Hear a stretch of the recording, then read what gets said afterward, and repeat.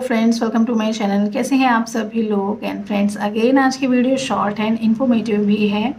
आज की वीडियो में हम बात करेंगे कि जो फीमेल्स होती हैं अपनी ब्रेस्ट का साइज़ बढ़ाने के लिए केवल पिल्स का यूज़ करती हैं। दवाइयाँ मिलती हैं मार्केट में, उनको ख़रीदती हैं यूज़ करती हैं। तो कितनी इफ़ेक्टिव हैं? क्या इनके कुछ नुकसान भी हैं? तो उसके बारे में आज मैं शॉर्ट में बताने वाली हूँ। सबसे पहले तो देखिए फीमेल क्या सोचती हैं? जो उनका एक्चुअल ब्रेस्ट साइज़ होता है, वो उसको ये नहीं देखती कि वो नॉर्मल है या नहीं है, लेकिन दूसरों का देख के वो कंपेयर करने लगती हैं कि शायद वो अब नॉर्मल है, अगर उनका ब्रेस्ट साइज़ कम होता है दूसरे से तो कि वो अब नॉर्मल है या मे बी फ़िज़िकल अपेयरेंस में और गुड लुकिंग दिखने के लिए उनको ऐसा लगता है कि उनको ब्रेस्ट साइज़ थोड़ा और बढ़ाना चाहिए। तो ऐसे में क्या होता है, बहुत सारे मेथड्स हैं। उनमें नेचुरल मेथड से सबसे बेस्ट हो जाता है आपका पुशअप एक्सरसाइज है डाइट भी अफेक्ट करती है एंड यस डाइट के साथ साथ मसाज तो डाइट मसाज एक्सरसाइज ऐसी चीज़ें हैं जो ऑप्शन वो ले सकती हैं। लेकिन ये सी थोड़ा टाइम टेकिंग ऑप्शन है, इसमें थोड़ा समय लग जाता है इंस्टेंट रिज़ल्ट नहीं मिलता है, लेकिन हैं बहुत इफ़ेक्टिव मेथड्स इसी के अपोजिट दूसरा मेथड हो जाता है कि मार्केट में जो दवाइयाँ मिलती हैं, उनको ले लेना और फीमेल्स को लगता है कि उनमें ना ज़्यादा मेहनत करनी पड़ेगी। एंड ये दवाइयाँ हैं तो ज़्यादा अच्छे से इफ़ेक्ट दिखाएँगे। ऐसा कुछ भी जो भी उनका माइंडसेट होता है तो दवाइयाँ खरीद लेती हैं। तो बेसिकली ये जो दवाइयाँ होती हैं मार्केट में मिलने वाले, जो आपके ब्रेस्ट साइज़ को बढ़ाते हैं एक्चुअल में होती क्या है? इनमें कुछ के अंदर होते हैं ईस्ट्रोजन डेरिवेटिव्स कुछ के अंदर होते हैं फाइटो ईस्ट्रोजन डेरिवेटिव्स तो बेसिकली ये क्या है? ये फीमेल के शरीर में पहले से ही हॉर्मोन्स होते हैं, लेकिन बाहर से और इनको पिल्स के फॉर्म में ले लिया जाता है। तो एक्चुअल में ये क्या करते हैं?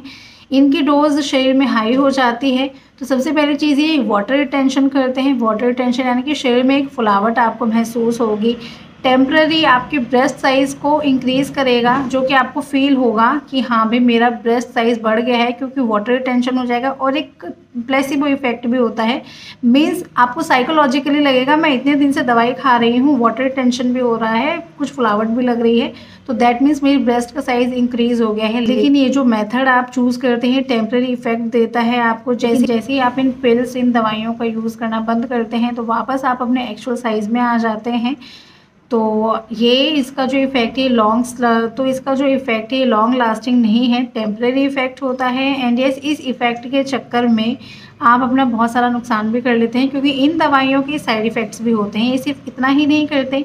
साइड इफ़ेक्ट करते हैं साइड इफ़ेक्ट क्या करते हैं? आपके शरीर में हार्मोनल इम्बेलेंस कर देते हैं क्योंकि ऑब्वियसली आप बाहर से भी कुछ हार्मोन्स ले रहे हैं।